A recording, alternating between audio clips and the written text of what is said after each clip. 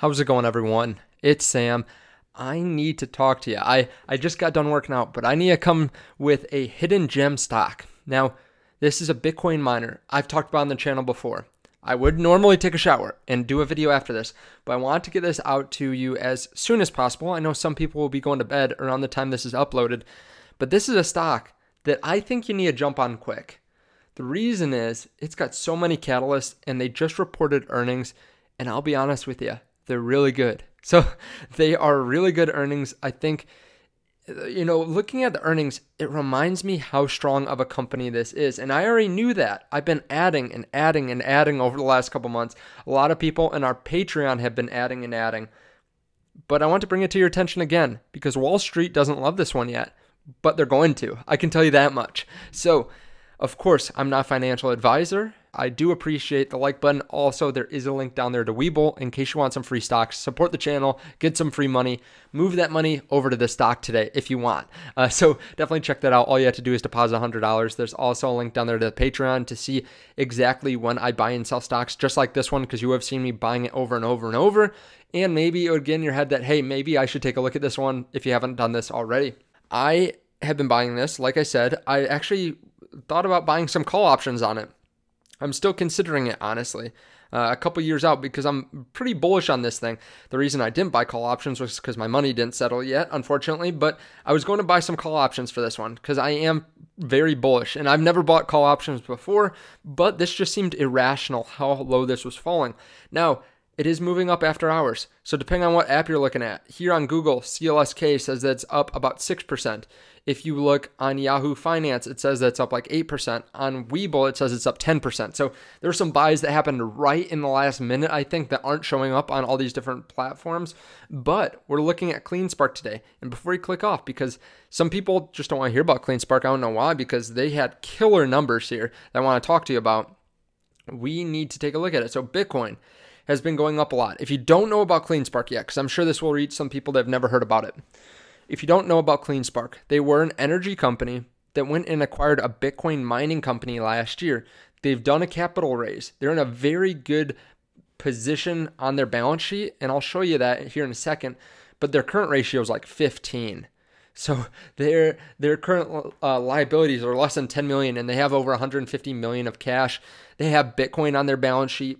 They've been mining Bitcoin. They're holding a majority of their Bitcoin still on their balance sheet and they actually had a positive net income quarter. I believe it's their first one. So, over the quarter, we have to take a look at Bitcoin because obviously most of their revenue actually comes from Bitcoin at this point. So, at the beginning of January, Bitcoin was under 30,000. It went all the way up throughout the end of the quarter to almost exactly 100% of that. It went up 99% over the quarter. Since then, it's pretty much stayed stagnant from the end of March 31st to now. So we have Bitcoin revenue right in the middle there. I think halfway through the month it was around 50,000 to 40,000. So right in that range. So obviously this quarter should actually be better, but we have them growing uh, revenue quite quickly, partly because of Bitcoin going up in price, but partly because they're acquiring more miners. And we'll get into that in a second because there is some news on that. They're going to increase revenues dramatically. So, three month revenue increased 122% to 8.1 million from one year ago quarter. Now, that sounds nice on the surface level, but they grew revenue significantly from last quarter. It's like 200 something percent over last quarter alone because last quarter was only I think 2.2 million. So they grew revenues very quickly from last quarter because of all the Bitcoin mining. 6 month revenue increased 124% to 10.4 million. So 6 month is great too. Three months ended. Okay, this is where it gets important, and we'll break down some of the income here in a second. CleanSpark more than doubled its comparative quarterly quarterly revenues with three months of 8.1 million. Net income for the three months ended March 31st was 7.4 million, or 28 cents basic earnings per share and 22 cents fully diluted earnings per share, uh, compared to a net loss of 5.8 or over a dollar loss last year. So this was a huge, huge increase. Now, compared to what analysts were expecting, analysts were expecting a two cent loss, and they came in and beat by 30 cents. That's that's pretty big. Now, their adjusted EBITDA uh, was uh, resulted in a non-GAAP net income for the three months ended of 1.1 million or six cents basic earnings per share. Now, a large majority of this revenue, the reason that they were actually positive was because of this unrealized gain of derivative security. So their revenue, their total revenues, uh, just from these revenues was about 8.2 million total costs and expenses were about 10.6 and then they had some other income so they did have some other income which caused them to actually be net positive overall in the quarter but they shouldn't be negative net income based on what they're doing now uh, in terms of mining for the quarters going forward a large majority too of what they spent was on payroll. And I don't think this will scale up quite as quickly this next quarter compared to over this last year. Pretty much tripled. And then also the professional fees. I'm assuming this is because of the lawsuits that are going on right now. There was a short seller that came out. It really sank the stock price a couple months ago. Also, they have been just acquiring a lot of Bitcoin miners. They've been doing a lot of business. So I'm guessing a lot of this is just lawyer fees. Uh, so that is something that isn't great, but uh, you know, it's not something I plan on having uh, at this scale long term. Then we have some general and administrative and some depreciation. So back to the numbers here. They more than doubled their competitor. Okay, we'll skip through that. They mined more than 144 Bitcoin. So around 90 days worth of mining. That is 1.6 a day. So even if we just do what we did that quarter and we continue it, so we don't even gain any more Bitcoin mining uh, ability, which we should. Let's just call it 57,000. Now that would be $91,000 a day times 90 days, we would have a Bitcoin mining revenue of 8.2 million as opposed to 6.7. Now, this should increase a lot. So again, I've talked about this in some previous videos, but they are acquiring a lot of Bitcoin miners right now. They should be up to six, six to nine Bitcoin a day by summer and they are getting more miners for next year, some of which uh, they've been paying for some of this already, some of which I think they'll have to pay in the future. Uh, and they are expecting to get up to, I believe it's 18 Bitcoin a day by next summer. So that's where the numbers start to get a little bit crazy. Instead of 1.6, you type in 6, right? So we won't get there by next quarter because, again, that's going to be by August late summer uh, we'll be up to six to nine but let's say we're at four let's say we're at four and then we're at 60,000 for Bitcoin. It's about 240,000 a day times 90 days. That is about 22 uh, million dollars. So think about that for a second. Think about the earnings per share on that. I mean, that's pretty impressive there. Once you start thinking about that, uh, off the top of my head, I don't know exactly what that would be. It would be, I think, around 60 cents earnings per share. I could be wrong. Don't quote me on that. I just pulled that uh, from from the brain there. But take a look at their balance sheet. 160 million in cash. About 5.7 million in Bitcoin. 115 Bitcoin. Total current assets 178.5 million. Total assets 292 million. Okay, pretty good. Let's take a look at their liabilities though. That's the important part. 9 million. 9 million worth of liabilities. They raised capital. They raised 200 million and that was kind of like the fuel on the fire for the stock price going down because they already had the the lawsuits against them. They had a short seller report. They started raising money. But at the time I said this is actually a good thing, I think. They're in a really strong position and they're acquiring more miners, which is the important part. What they are doing is they are mining like crazy and they're going to continuously raise their mining ability to the point where they're going to be so profitable because this is a very high margin business. This is something that uh, will be very profitable for them. Now, they also talk about electric vehicles. So these are some of their these are some of their highlights here. They had the 200 million that they raised. Our project to add 30 uh, MW of additional power to support additional CleanSpark Bitcoin mining operations is ongoing. So they're adding more power. They have rapid growth in the electric vehicle charging initiative. We now have 11 companies that are using our open ADR software solutions to aid in load management for EV charging stations and balancing the impact uh, that balancing the impact the increased power demand has on the traditional grid. So remember, they're a grid company uh, at heart. Now they have a large backlog. They have they just have a lot of backlog. Honestly, they haven't been able to uh, do a lot of the work that they're contracted. Their contracted backlog was 21.6 million as of March 31st. Now through May 6th, so basically eh, five weeks later, so they have another three million worth of backlog. So not bad, honestly. Three million over a month, that's not bad at all. I mean, that would be if they could actually keep up with that and they could actually do the work. That'd be 36 million dollars worth of revenue. So overall we could project this out. I've done that in previous videos. Again, if we get up to six to nine Bitcoin a day, let's just say we can average six throughout the rest of the year from here until the end of the year, because let's assume that we can get up to nine by the end of the year. So six Bitcoin per day times 60,000, that is $360,000 worth of revenue times, uh, we'll just say 270 days left in the year. That would be about $97 million. They had revenue of uh, about 8 million or so this quarter, I believe, uh, just from the page I looked at a second ago. So 105 million over the year. And you might be thinking that's that's really high. Well, if you start looking at their forward PE, their forward PE is six.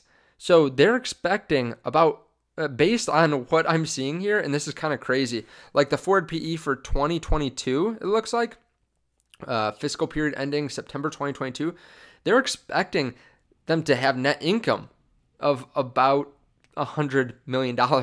So they're expecting this to explode because the market cap's only 600 million. Analysts, that only two analysts that are covering this expect huge earnings. And when you start looking at it and you start thinking, okay, it only costs about six to eight thousand dollars to mine Bitcoin, this is where the numbers start to get crazy in your head. Like if we look at not this year, but next year, when they're mining 18 Bitcoin a day, let's say Bitcoin goes up to 100K. We're just going to do this in thousands because it's going to make it a lot easier. 100K Bitcoin. They mine 18 a day. So they have about $2 million worth of revenue a day, 365 days in the year. This is not accounting for any of their other services. Look at that $657 million? Are you kidding me? This is a high margin business too. So by the end of next year, could they be bringing in revenue of about what their market cap is now with a very high margin on that? Some people are saying CleanSpark's going 100 plus from where it is now. I I'm not going to say that that's going to happen, but I don't think I'd be very surprised if it happened. Now, right now, there's just not much institutional money in it. A lot of people were worried because of the because of all the lawsuits. But you can see this pretty much peaked at the beginning of the year. It was highest $35 on January 6th.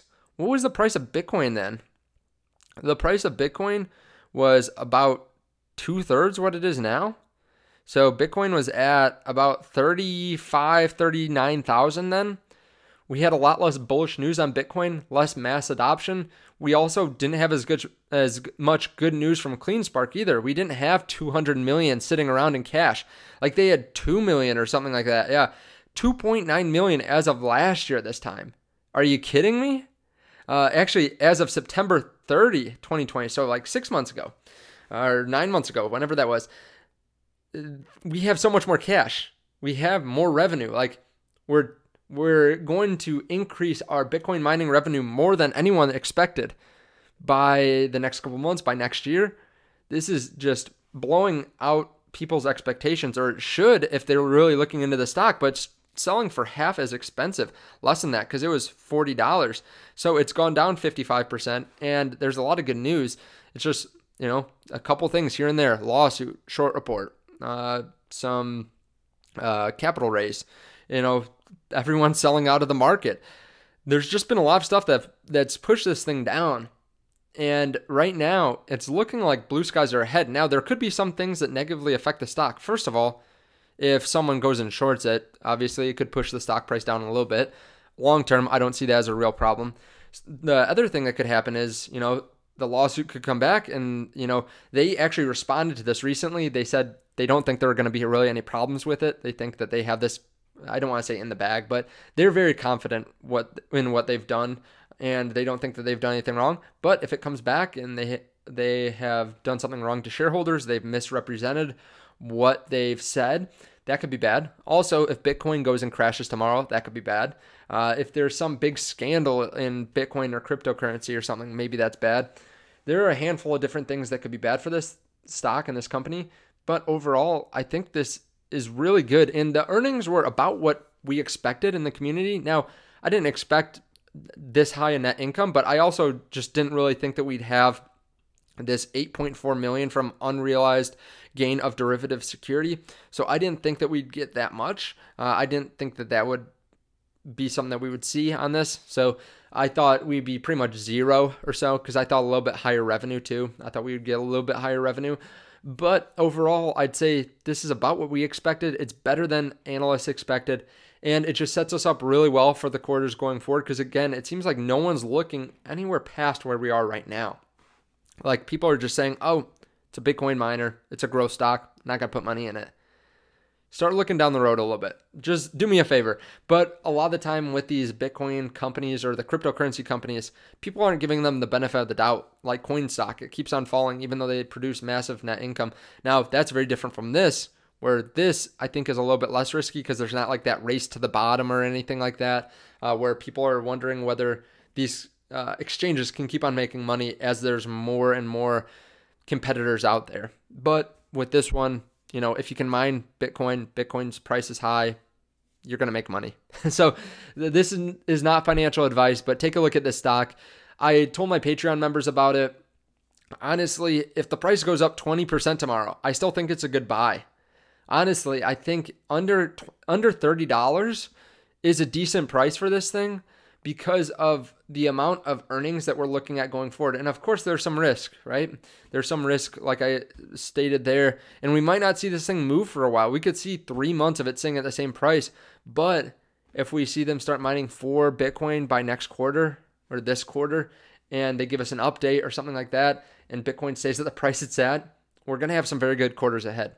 Thank you guys so much for watching. Thank you for hitting the like button. If you want to see more of this or you want to hear more of this, you want to see what I'm doing every single day, you can check out the link down below to Patreon.